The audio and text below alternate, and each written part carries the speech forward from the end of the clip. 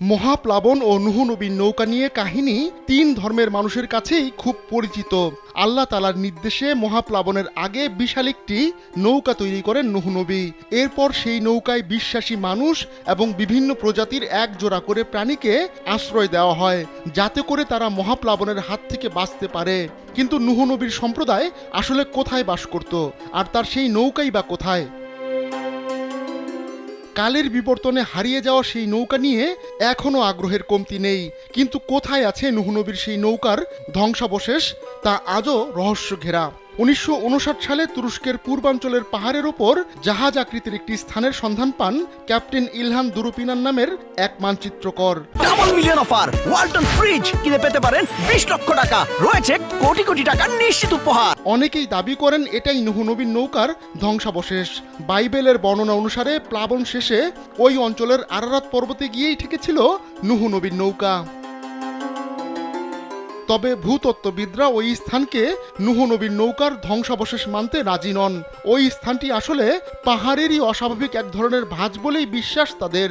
এতদিন ধরে রহস্যে ঘেরা সেই ইতিহাস নিয়ে এবার নতুন এক দাবি করলেন বিজ্ঞানীরা। সম্প্রতি তারা বিশ্বের সবচেয়ে পুরনো মানচিত্রের গোপন রহস্য ভেদ করেছেন। তিন হাজার বছর পুরনো মাটির ওই মানচিত্র ইমাগো মুন্ডি নামে পরিচিত। বলা হচ্ছে এই মানচিত্রই সন্ধান দেবে নুহ নবীন নৌকার। প্রাচীন ব্যাবিলনীয় সভ্যতার এই নিদর্শনের রহস্য শতকের পর শতক প্রত্নতাত্ত্বিকদের কাছে অজানা ছিল। উনিশশো বিরাশি সালে বর্তমান ইরাকে ওই নিদর্শনটি খুঁজে পাওয়া যায়। মাটির এই ট্যাবলেটটি বর্তমানে ব্রিটিশ জাদুঘরে রয়েছে। ইমাগো মন্ডিতে একটি গোলাকৃতি বিশ্ব মানচিত্র রয়েছে। এর মধ্য দিয়ে প্রাচীন ব্যাবিলনে বিশ্ব সৃষ্টির ধারণা ফুটে ওঠে। সে সময় পর্যন্ত মানুষ যতখানি বিশ্ব আবিষ্কার করেছিল, তার পুরোটাই ওই মানচিত্রে ছিল বলে মনে করা হয়। মানচিত্রটির একটি অংশে মেসোপটেমিয়া সভ্যতারও উল্লেখ রয়েছে। ওই শিল্পকর্মে উরার্তু নামে এক জায়গার কথা বলা হয়েছে। সেখানে গেলে পার্সিক্ত জলযান দেখতে পাওয়া যাবে। ব্যাবিলনের অন্য প্রাচীন ট্যাবলেটেও এই পার্সিক্ত শব্দটির উল্লেখ রয়েছে। ধারণা করা হয় মহাপ্লাবনের সময় ওই নৌকাটি টিকে ছিল।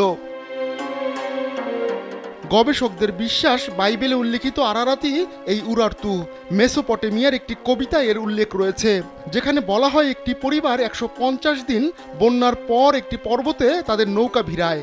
বন্যা শেষ হওয়ার পর উরার্তু পর্বতের চূড়ায় অবস্থান নেয় ওই পরিবারটি। তবে সিডনি বিশ্ববিদ্যালয় থেকে পিএইচডি করা একজন আর্থ ক্রিয়েশনিস্ট, ডক্টর অ্যান্ড্রু স্নেলিং এর মতে, আরারাত পর্বতে নুহুনবীর নৌকা থামার সুযোগ নেই, কারণ মহাপ্লাবনের সময় ওই পর্বতের অস্তিত্বই ছিল না। Ahmadullah Sikdar Kalbela desk.